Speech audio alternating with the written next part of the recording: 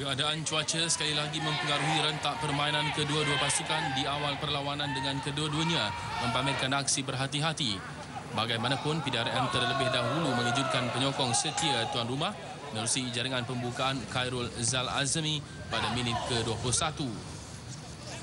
Belum sempat Kelantan mengatur serangan, PDRM menambah gol kedua kali ini menerusi jaringan menarik jarak 35 meter yang sama sekali gagal diselamatkan penjaga gol Kelantan Muhammad Halim Napi seakan bangkit dari lamunan Kelantan terus melancarkan serangan dan Indra Putra Mahyudin mendapatkan jurang buat Kelantan pada minit ke-32.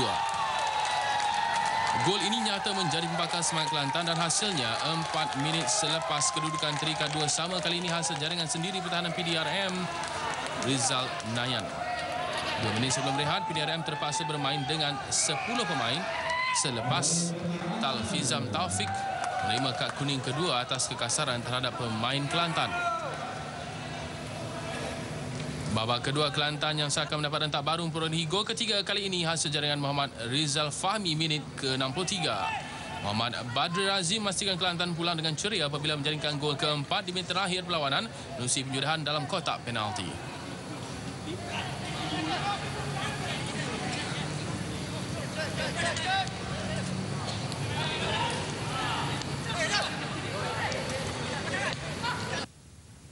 Walaupun sehingga game yang keempat ni kita belum dapat rentak untuk mencipta satu kemenangan.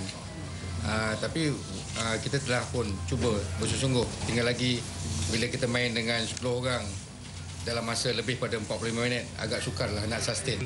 Malam ini saya rasa it, itu bukan it, it bukan sepak bola dan bukan adil untuk ke police dan kita kita harus datang sini dan coba uh, you know bikin spectacle untuk penonton dan orang di sini.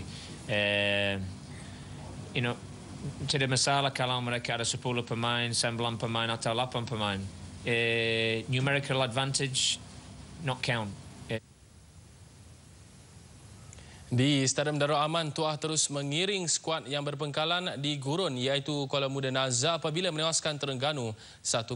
Gol tunggal Kuala Muda Nazar dihasilkan Ketua Pasukan Muhammad Anwar Jusoh. Stadium Darul Aman tidak memberi tuah setakat ini buat juara treble Kedah tidak bagi skuad bimbingan Stefano Kogura Rodriguez. Sebaik babak pertama bermula, Kuala Muda Nazar terus melancarkan serangan tali arus ke kubu pelawat menusi gandingan dua penyerang berpengalaman.